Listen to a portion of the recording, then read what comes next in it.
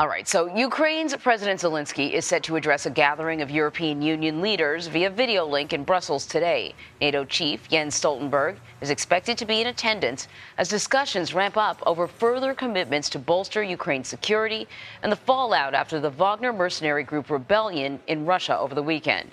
Meanwhile, yesterday in Russia, Vladimir Putin made a rare public appearance in the south of the country, where he met with a crowd of well wishers in an apparent show of support. The mercenary group's mutiny is one of the most serious challenges to Putin's grip on power. Putin's public appearance comes amid reports that a senior Russian general who may have had prior knowledge about the revolt has been arrested. And according to U.S. intelligence, Kremlin officials are trying to determine if he helped plan the mutiny with the Wagner Group. CBS News foreign correspondent Ian Lee is joining us now with the very latest. It's good to see you, Ian. Um, so, you know, we've obviously been spending a lot of time talking about this attempted uh, mutiny, I guess. But I'm very curious, Ian. You recently spoke to Ukraine's Secretary, Secretary of National Security. How are officials in Kiev viewing the mutiny? Well, hi there, Anne Marie. Yeah, the officials here are kind of painting a picture of ongoing chaos in the Kremlin. You know, speaking with Alexei Danilov, he told me that this was a larger conspiracy than just one man, saying that there were 14 generals that were involved in this mutiny to uh, go after Putin. Now, he said that the goal of the mutiny wasn't necessarily to overthrow Putin, but to diminish his image within Russia and within the international community. He says there were several goals of this mutiny, but the ultimate aim, he told me, is that these generals were hoping or are still hoping to get rid of Putin. You know, the interesting thing that he told me was, uh, you know, when that mutiny was taking place, he said, uh, Evgeny Prigozhin was able to get to Rostov very easily. Now, this is where you, uh, Russia has their southern military headquarters. This is where they're persecuting that war in Ukraine. Yet he was able to waltz right in to that headquarters without being challenged.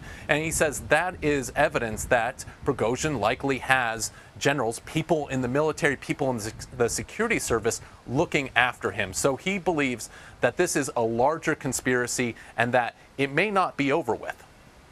Very interesting. That's actually a great point. Um, so I'm wondering if Kiev will, if, if Kiev believes there will be a ripple effect in their favor on the battlefield.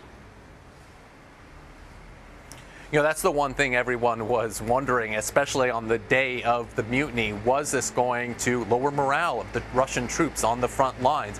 And Danilov does believe that this will have an impact. The one thing that Wagner soldiers are really known for is their fighting prowess. You know, when I interviewed soldiers, Ukrainian soldiers on the front line, they said the Wagner troops were the toughest opponents that they have faced. And with many of them off the front lines, they believe that it could be easier, but also it's just breaks down the command and the control of the Russian soldiers. There's this chaos in the ranks, and so there's a lot of uncertainty, and they believe that the Ukrainians will be able to exploit it, but it isn't going to be an easy fight. He says the Russians have been able to put up stiff resistance. He says there are a lot of minefields that have proven difficult, uh, but really talking to him, talking to troops on the front line, they're still optimistic that they can succeed in this offensive. You know, certainly if there are issues within um, Vladimir Putin's ranks, it's clear that he's had to pivot and, and his attention is is going into, you know, his own generals.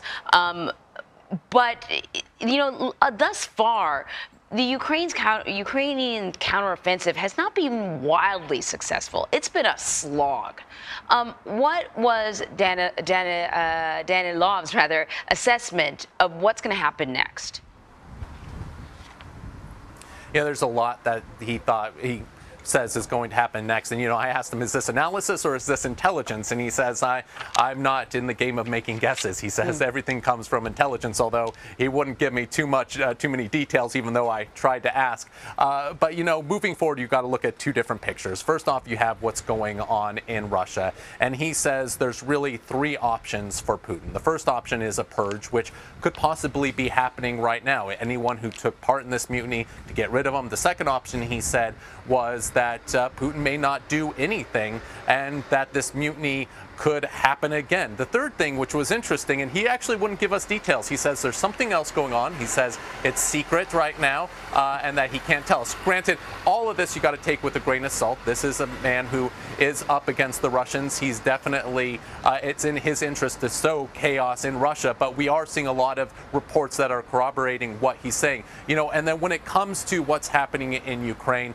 uh, they do believe that this war is going to go well eventually. They are probing the front line. The defense minister says the main thrust hasn't happened yet. They do have a lot of Western, Western weapons, but it really is trying to find that weakness in the front lines that they can eventually. All right, so Ukraine's President Zelensky is set to address a gathering of European Union leaders via video link in Brussels today. NATO chief Jens Stoltenberg is expected to be in attendance as discussions ramp up over further commitments to bolster Ukraine's security and the fallout after the Wagner mercenary group rebellion in Russia over the weekend. Meanwhile, yesterday in Russia, Vladimir Putin made a rare public appearance in the south of the country, where he met with a crowd of well wishers in an apparent show of support. The mercenary group's mutiny is one of the most serious challenges to Putin's grip on power. Putin's public appearance comes amid reports that a senior Russian general who may have had prior knowledge about the revolt has been arrested. And according to U.S. intelligence, Kremlin officials are trying to determine if he helped plan the mutiny with the Wagner Group. CBS News foreign correspondent Ian Lee is joining us now with the very latest. It's good to see you, Ian. Um, so, you know, we've obviously been spending a lot of time talking about this attempted uh, mutiny, I guess. But I'm very curious, Ian. You recently spoke to Ukraine's Secretary, Secretary of National Security. How are officials in Kiev viewing the mutiny? Well, hi there, Anne Marie. Yeah, the officials here are kind of painting a picture of ongoing chaos in the Kremlin. You know, speaking with Alexei Danilov, he told me that this was a larger conspiracy than just one man, saying that there were 14 generals that were involved in this mutiny to uh, go after Putin. Now, he said that the goal of the mutiny wasn't necessarily to overthrow Putin, but to diminish his image within Russia and within the international community. He says there were several goals of this mutiny, but the ultimate aim, he told me, is that these generals were hoping or are still hoping to get rid of Putin. You know, the interesting thing that he told me was, uh, you know, when that mutiny was taking place, he said, uh, Evgeny Prigozhin was able to get to Rostov very easily. Now, this is where you, uh, Russia has their southern military headquarters. This is where they're persecuting that war in Ukraine, yet he was able to waltz right in to that headquarters without being challenged. And he says that is evidence that Prigozhin likely has generals, people in the military, people in the security service looking after him. So he believes that this is a larger conspiracy and that it may not be over with.